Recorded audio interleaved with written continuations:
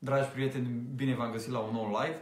În uh, foarte puține cuvinte aș dori să vă expun opinia mea și cred că opinia multor uh, cetățeni din țara aceasta cu privire la necesitatea uh, revizuirii Constituției României în privința articolului 48 despre familie, care în primul aliniat spune familia se întemeiază pe căsătoria liber consimțită între soți și această expresie între soți pare să fie ambiguă astăzi pentru unii, de aceea cred că ea trebuie uh, revizuită, regândită, pe egalitatea acestora și pe dreptul și îndatorirea părinților de a asigura creșterea, educația și instruirea copiilor. Așadar, ceea ce deranjează astăzi pe unii și pe mine este expresia între soți. Familia se întemeiază pe căsătoria liber consimțită între soți.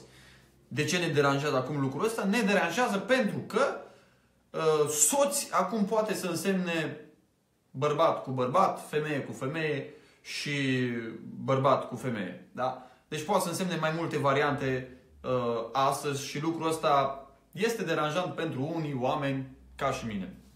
Acum eu vă spun din capul locului uh, că eu gândesc chestiunea asta din punct de vedere creștin, nu religios, din punct de vedere creștin. Eu cred Sfânta Scriptură, cred ce spune Dumnezeu despre căsătorie și asta este perspectiva din care eu uh, analizez toată situația, chiar dacă nu tot ceea ce spun are legătură evidentă pentru toată lumea cu Sfânta Scriptură. Dar acesta este fundamentul pe care eu, uh, pe care eu discut chestiunea, uh, chestiunea asta.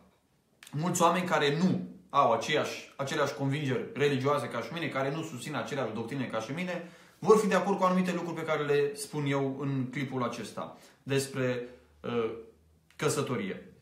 Uh, așadar, din punct de vedere uh, creștin, pentru mine definiția asta ar putea să fie acceptată foarte bine de Sodoma și Gomora.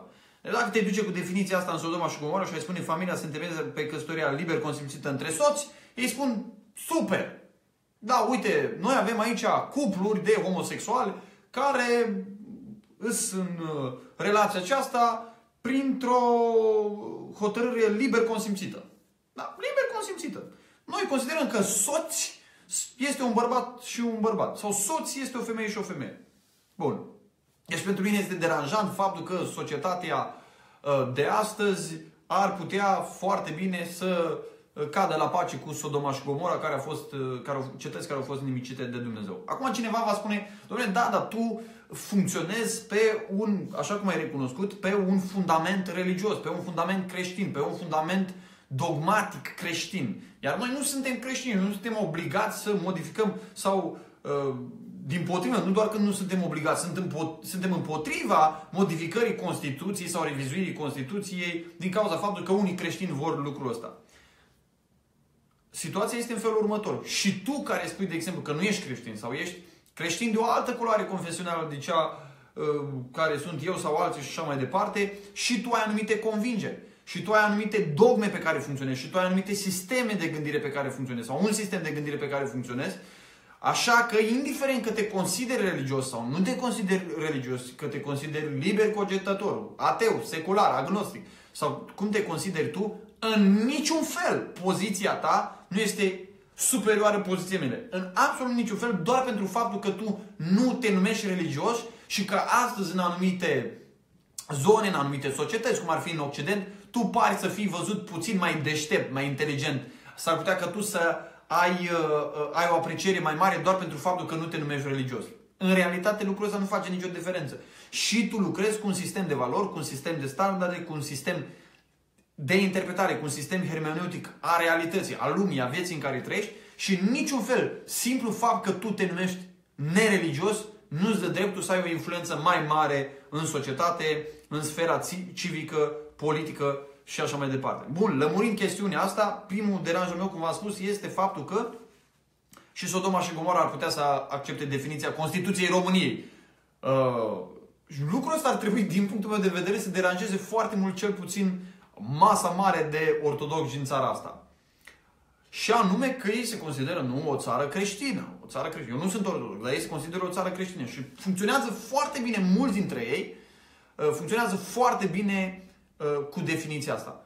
Dintr-o, dintr-o populație pe care o are România, să iasă numai 3 milioane de oameni la vot pentru chestiunea referendumului cu subiectul familiei, pentru mine este o problemă foarte mare. Asta a fost un test major și s-a făcut un efort uriaș, uriaș pentru a să ajunge la numărul ăsta. Unii milioane de celelalte de creștini din România. Unde sunt, domnule? Ăștia numai un singur semnal dacă s-ar fi dat, toți ar fi trebuit să fie la vot. Toți ar fi trebuit să fie la să fie la vot când va fi votul, da? Toți ar fi trebuit să fie la uh, semnături, toți ar fi trebuit să se îngrămădească la lucrul ăsta. Lucrurile nu sunt chiar așa, din păcate. Și asta este, familia este în concepția creștină uh, prioritară, este esențială pentru însuși constructul social. Și să existe o, o atâta neglijență, o atâta indiferență, o atâta nepăsare față de un subiect atât de important, este inacceptabil pentru cineva care se numește creștin. Bun. În al doilea rând, în al doilea rând, și aici nu mai discutăm neapărat de creștinism sau nu. Din respect pentru ceea ce au înțeles cei care au scris Constituția țării noastre, este necesar să clarificăm expresia asta. Eu nu cred că Constituția în realitate se modifică. Se modifică limbajul, dar nu se modifică Constituția în realitate. Pentru că oamenii care au scris Constituția, când au folosit cuvântul soți, ei n-au înțeles un bărbat și un bărbat. Cred că chiar și cei care sunt pro-homosexualitate, pro-lesbianism și așa mai departe, vor fi de acord cu lucrul ăsta istoric vorbind. Aici vorbim de istorie, dar aici nu vorbim despre convingeri religioase, nu vorbim despre convingeri nereligioase, aici vorbim istoric despre ceea ce au înțeles oamenii ăia când au scris Constituția asta. Ei n-au înțeles uh, că uh, cuvântul soț înseamnă bărbat și bărbat, ci au înțeles că înseamnă bărbat și femeie. Așa că noi, de fapt, nu modificăm Constituția, ci noi clarificăm ceea ce a însemnat Constituția când ea a fost scrisă. Dar este o clarificare a limbajului. De fapt, ceea ce facem noi acum este ce, au fi, ce ar fi făcut oamenii care au scris Constituția. Dacă ei ar trăi astăzi, ei ar folosi o expresie care să arate clar lucrul la care ei s-au referit atunci. Dacă ei ar trăi astăzi, ei ar folosi o expresie care să arate foarte clar convingerea lor. Care convingerea lor nu era că un bărbat și un bărbat se, um, într-o uniune liber consimțită înseamnă familie. N-ar fi înțeles lucrul acesta, da? N-ar fi înțeles lucrul acesta. Așadar, din respect pentru ce au înțeles oamenii aceia și ce au hotărât oamenii aceia și ce au scris oamenii aceia, ar trebui să clarificăm ce spune Constituția, nu să o modificăm, da? Revizuirea este în privința limbajului. În privința limbajului, da? Este o modificare de limbaj pentru a ajunge la înțelesul și semnificația a ceea ce au transmis oamenii care au scris atunci Constituția. În al treilea rând, în contextul acesta uh, relativ, uh, relativist, postmodernist, vorbirea precisă și nuanțată este esențială, elementară, fundamentală, de bază, cum rezumeau să se spuneți. Este fundamentală. Vorbirea precisă și nuanțată. Da? Nu ne mai permitem în vremea în care trăim să vorbim vag. Nu ne mai permitem să vorbim general. Pentru că trăim într-o eră, din păcate, o eră postmodernă în care limbajul a devenit relativ, definițiile au devenit relative. Fiecare când se rostește un cuvânt aude altceva. Și atunci trebuie să fim siguri că toți auzim același lucru când folosim cuvântul soț. Că toți înțelegem același lucru când folosim cuvântul familie, da?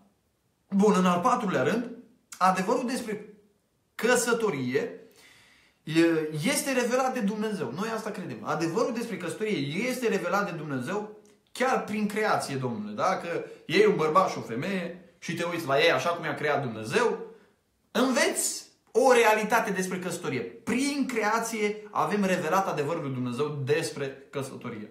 Prin conștiință avem revelat adevărul lui Dumnezeu uh, despre căsătorie. Dacă conștiința nu-i bătătorită, nu-i amorțită, nu-i amețită, nu e înșelată și așa mai departe, de tot felul de idei filozofice și tot, de tot felul de lucruri de genul ăsta, conștiința va reacționa împotriva conceptului de homosexualitate. Asta este convingerea mea, convingere bazată pe Sfânta Scriptură. Avem revelația lui Dumnezeu prin creație, prin conștiință, prin tradiție. Avem revelația lui Dumnezeu prin tradiție. Avem o tradiție lungă care arată cum au păstrat oamenii instituția aceasta a căsătoriei care vine de la Dumnezeu. Avem revelația aceasta chiar dovedită prin știință. Să chinuie atâta de mult oamenii să ne dovedească că cineva se naște homosexual și că e total natural să facă lucrul ăsta și că e total natural, domnule, unii să-și schimbe organele genitale și așa mai departe.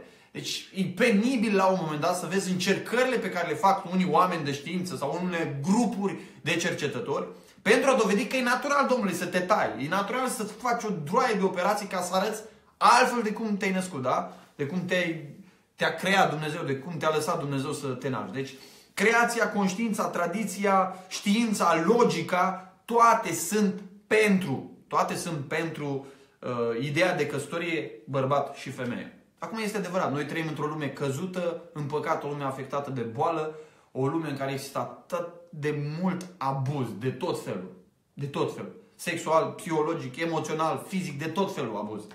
Și atunci e clar că vor exista anumite anomalii în ce privește instituția căsătoriei, vor exista anumite anomalii în ce privește uh, sentimentele pe care le au anumiți, uh, sentimente pe care le, le au anumiți oameni, uh, vor exista deviații, vor exista probleme, vor exista uh, tot felul de lucruri de acestea în ce privește identitatea și modul în care cineva își percepe propria identitate, modul în care cineva își acceptă propriul trup și așa mai departe. Trăim într-o lume căzută în păcat, într-o lume uh, uh, în care experimentăm atâtea tragedii și este normal să vedem lucrurile acestea. Noi nu urâm. Da? Eu cel puțin, eu nu urăsc niciun homosexual, eu nu urăsc, urăsc păcatul, dar nu urăsc pe oamenii ăștia. Nu-i urăsc. Cred că ei trebuie ajutați, cred că ei trebuie sfătuiți, cred că biserica ar trebui să fie prima comunitate care să-i primească pe oamenii aceștia, să-i accepte în sensul, vreau să fiu foarte clar în ce sens să-i accepte și să-i primească, în sensul de a ajuta să fie eliberați de starea asta de păcat. Asta este convingerea creștină. Pe mine nu mă poate convinge nimeni că uh, biserica trebuie să fie instituția aceea care primește pe oamenii ăștia așa cum sunt, în sensul de a-i lăsa așa cum sunt, de a-i primi membri așa cum sunt, de a-i lăsa așa cum sunt, fără să le spună că ăsta e un păcat și că trebuie să pocăiască de lucrul ăsta și că Dumnezeu îi poate ajuta și poate elibera. Bun.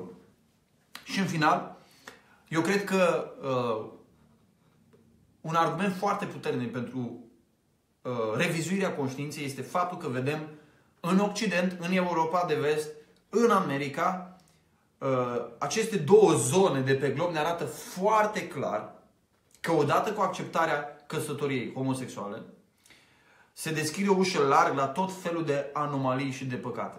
La tot felul de anomalii și de păcate. Nu cred că este normal ca vreun copil să crească într-o familie de homosexual. Nu cred. Uh, cred că este dovedit că toate deviațiile acestea din natură sexuală, nu le pomenesc eu acum pe toate că nu este timpul, toate deviațiile acestea vor duce uh, la o viață, viață, viața obișnuită de om, vor, vor, pur și simplu vor distruge, vor măcina viața omului. Da? Oricine intră pe calea aceasta, intră pe o cale care îți duce în jos. Oricine intră pe calea aceasta, intră pe o cale a prăbușirii, a prăbușirii lăuntrice, a prăbușirii familiei, a prăbușirii valorilor, a prăbușirii societății. Toate deviațiile acestea de natură sexuală, care încep, vedem noi astăzi, prin atacarea instituției căsătoriei, toate acestea vor duce la distrugere. Iar noi nu vrem ca oamenii să se distrugă pe ei înșiși, nu vrem ca generația tânără, copiii noștri să fie distruși, copiii altora nu vrem ca să fie distruși, nu vrem să fie distruse familiile noastre, familiile altora și nu vrem să fie distrusă societatea. Nu vrem să fie distrusă societatea și de aceea uh, cred că e important să spunem deschis ceea ce credem, care sunt convingerile noastre uh, și de aceea cred că este necesară, binevenită uh, revizuirea Constituției în, în privința aceasta. Dacă aceasta este și opinia dumneavoastră, cred că este, uh, este o voce puternică astăzi cu privire la lucrul acesta, dar nu suficient de puternică. Pentru că unii se tem de ce o să zică alții care au alte păreri și să nu fim considerați homofobi și așa mai departe. Eu mi-asum riscul ca Facebook să-mi șteargă clipul ăsta, îmi asum riscul ca să reporteze, îmi asum riscul să-mi închide paginile, îmi asum riscul, toate riscurile. Astea sunt convingerile mele și dacă suntem în anul 2018, în care nu avem maturitatea și înțelepciunea de a putea să stăm la masă toți împreună și să putem să ne împărtășim opiniile într-un mod civilizat și să ne argumentăm opiniile, atunci înseamnă că uh, tot avansul ăsta în care noi trăim astăzi, tehnologic, tehnologic și de ce natură o mai fi el, este absolut degeaba.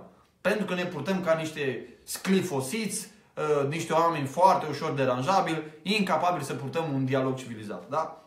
dați un like, dați un share și sperăm să vedem uh, un curs natural al lucrurilor în privința asta în România și să vedem o biruință, cred eu, a binelui, o biruință a păstrării instituției căsătoriei așa cum Dumnezeu uh, a lăsat-o.